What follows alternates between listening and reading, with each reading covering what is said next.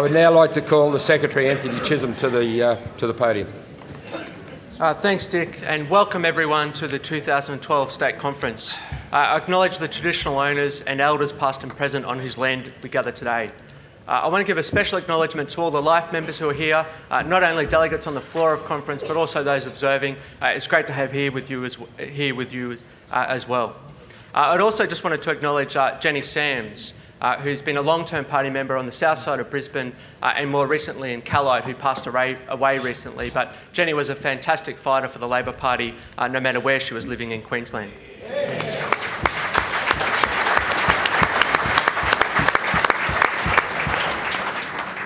Congratulations to Dick Williams on his election as President, and I look forward to working with you. There is much that needs to be done. Uh, and thanks to Andrew Dettmer for his time as Party President, and I wish you well in the future. Uh, and welcome to Evan Moorhead, Moorhead, and congratulations on your election as Assistant State Secretary, which hasn't quite been announced yet, but I'm sure it'll be fine. I just wanted to thank all branch members for their work over the last 12 months. I understand that it hasn't been easy being out there on the front line, uh, but I really appreciate the work that you've put in, especially the candidates out there in regional Queensland in some of those tough seats. The effort that you did was phenomenal, and we really appreciate it. Thank you so much.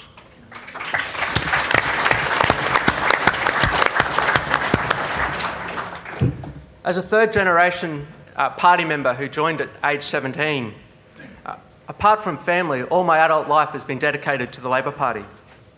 Like many of you in this room, I don't think I'll ever get over the election result that we had a few months ago.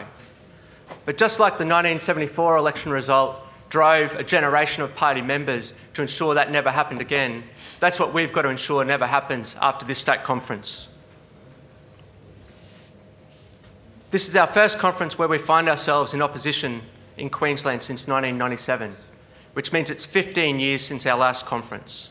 Thanks to George Wright, Carmel Tebbutt, and, Carmel Tebbutt and Michael Lee for taking the time to conduct the review.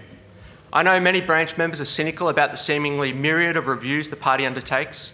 Our job this weekend is to set a clear path for reform, to effectively communicate that with the branch membership, and rebuild trust and faith in the party. My speech is part report, part analysis of the current challenges and plans to get us through them. The work of the party office since our last state conference was dominated by the election campaigns at both the state and council level.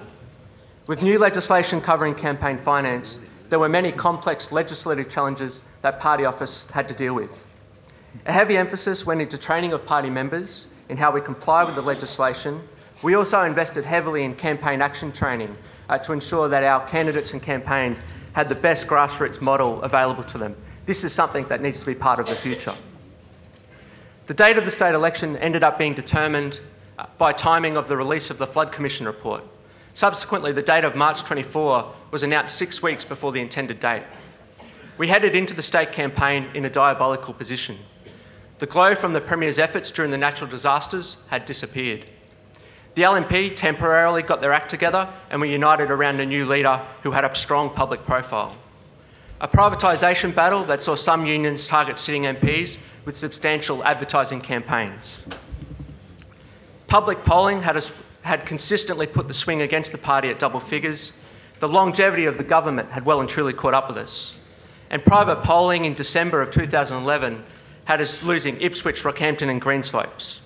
In fact, every seat we polled since the 2009 state conference had us losing. No matter how big the margin, uh, no matter how big the Labor vote, the swing was always big enough for us to lose. The one exception to this was Ashgrove. In early February this year, we found ourselves on 53% of the vote due to the hard work of Kate Jones and the local team, and also growing doubt about Campbell Newman in that community. It is important to have a realistic view of the pendulum heading into the last state election we had only 13 seats on a margin of 10% or greater.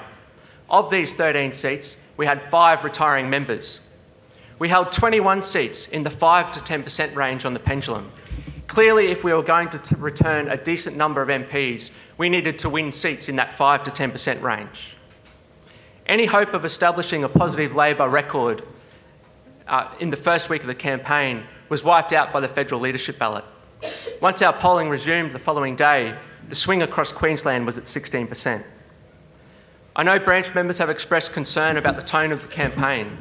But as the review notes, given the circumstances that we confronted, there was little option. Of course, in hindsight, there would be things I would do differently.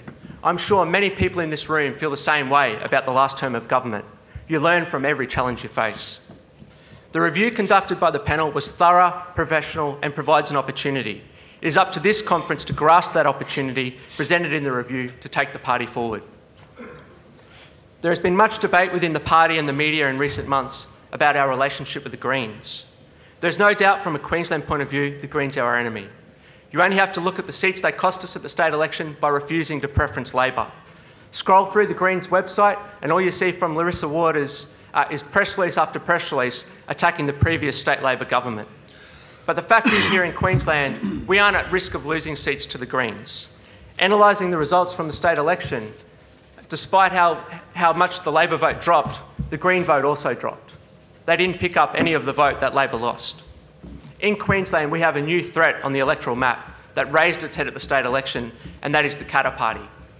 Another minor party that tries to be all things to all people uh, whilst the party is made up from the odds and sods of the political spectrum, much of their support at the election was pulled from traditional Labor voters.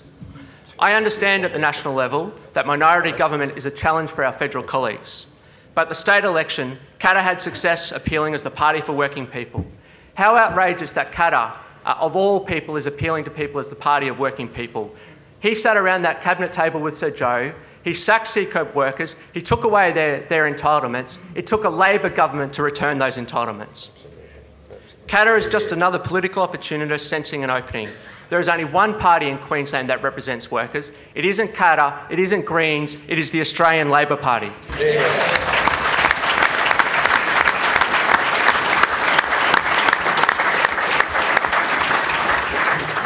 All party members and unions, affiliated unions, have a role to ensure that Queenslanders understand Katter doesn't stand for them. Our state leader, Annastacia Palaszczuk, has been taking this message to those people who left us. From day one of her leadership, she was out there in Ipswich, uh, taking this message up and down the state, meeting with workers and communities, rebuilding the trust of voters every day. Whilst the current LNP government is making this job easier for us, let's not forget how hard Stacia, Tim Mulherin as her deputy, and the caucus have been working to rebuild this relationship with Queenslanders. Stacia also passed her first electoral test as leader, winning the South Brisbane by-election on April 28. Congratulations to Jackie Trad on her election, and the LNP caucus are figuring out what a passionate work colleague Jackie Trad is.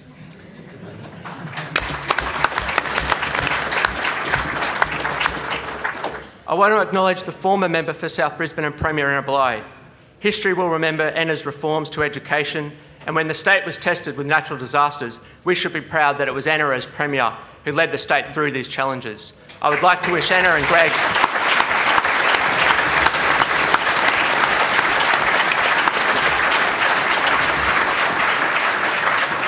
I would like to wish Anna and Greg all the best for the future.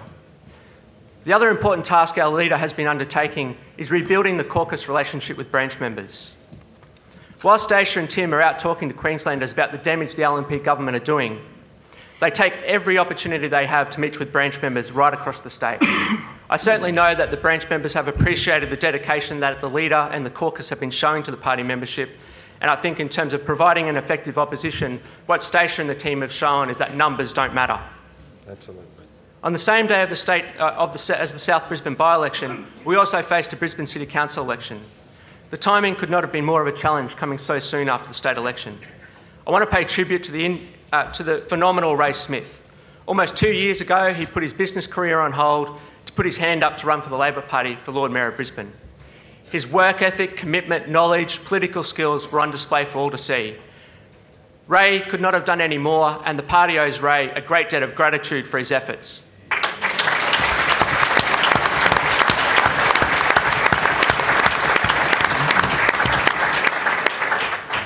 Thanks to Shayne Sutton for her work as opposition leader over the last term, and I look forward to working with Milton Dick as we hold the Quirk administration to account over the next four years. It was instilled in me when I first joined the party that being in government is the only thing that matters. The reality is, is we now find ourselves in opposition, and our aim needs to be get, to get back to government as quickly as possible. This conference must set the agenda for getting back to government, because those people who rely on Labor governments can't afford to wait. We are not going to get there unless every element of the party is strengthened. Our membership numbers must be greater, not just in one particular seat, but across the whole of the state. To grow our membership, we must give members more of a say on things that are important, like national conference delegates and our policy processes and our pre-selections. But these, challenges must, these changes must never be at the expense of our broader electoral viability. The relationship with affiliated unions must be rebuilt. A strong relationship in opposition must become an unbreakable bond in government. And our policy processes need to be reformed. We need to engage with the broader party and give more people a say. The platform must be rebuilt from the ground up. Labor's core values remain at the centre, but importantly, we ensure that branch membership has faith about the implementation of the platform and that we have a Labor caucus that are proud to do that job. Our candidates need to be of the highest quality. Our pre selection process, process is thorough so that the party has confidence that newly elected MPs are, of the calibre to form a Labor government that Queensland deserves. And we must do better at getting Labor people elected to local government. Labor councillors in many parts of the state can become the next state Labor members of Parliament. When considering reform proposals this afternoon, I urge you to consider the above criteria, but particularly our efforts to grow the party. too many people think about how these changes affect their role in the party. But if we want a bigger party, we need to think about what we can do to make changes that encourage people to join and then encourage people to continue to renew. As delegates to this conference, we are tasked with guiding the party into the future. Let's lift our horizon and encourage Queenslanders to join our movement. We aren't going to get back to government unless the party is in a stronger position across all aspects. Our membership growing in number and passionate about our cause. Our policy process is strong and inclusive of all branch members, and we have a culture where the party comes first in all our deliberations. The next electoral test won't be the state election, as important as that is. It will come next year at the federal election, where once again Queensland will be the battleground state. Defending sitting MPs and working hard in those marginal seats will, must be our focus. The federal battle lines have been transformed before our very eyes over the last two months. You can sense that on the ground. Queenslanders are getting a sense of what an Abbott government would be like. And they are concerned. We can't sit back and wait for people to make their own conclusions. Our campaign needs to take this to the community. Training has been a focus of the party over the last 12 months. Uh, special thanks to Shannon Fentiman, who's coordinated that from party office. Uh, a lot of coordination goes into our work on the training modules, and since the election, we've had a focus on uh, the recruitment training in the southeast corner. Uh, Post conference, the focus needs to be on taking that member training to the regional areas uh, and include online options as well, so that all party members get a detailed policy uh, training option before them. We will work closely with the National Secretariat as they work on their plans for a training coordinator. Thanks to the staff at Party Office for all their hard work over the last year. It's always a big year when there are elections due. Uh, thanks to Abby, who's been a fantastic addition to the staff, particularly dealing with uh, the, the financial uh, challenges that we've had.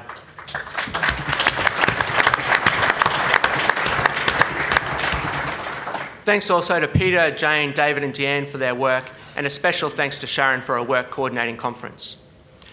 We have had. As Dick touched on, we've had some fantastic volunteers uh, post the state election, and many of them are here today. Thanks to Dolly, Phoebe, Barry, Jenny, Margaret, and Laura for the support they've been providing to party office.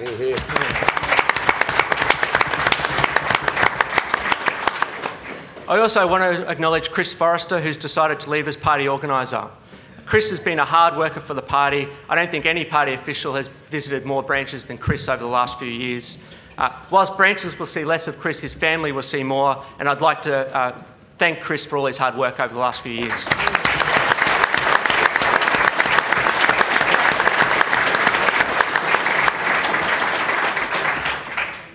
The party is emerging after a devastating electoral defeat.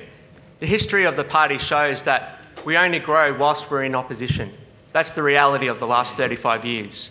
Already this year, our new membership numbers are almost double compared to the same stage last year. The challenge for everyone in the party is to keep that growth going and ensure that those members become long term party members. The reform proposals today aim to make the party stronger stronger in numbers, stronger in policy, and stronger in candidate selection. We will only win government when the party has achieved all these aims. Let's set, let's set the direction to do that this weekend. Thank you.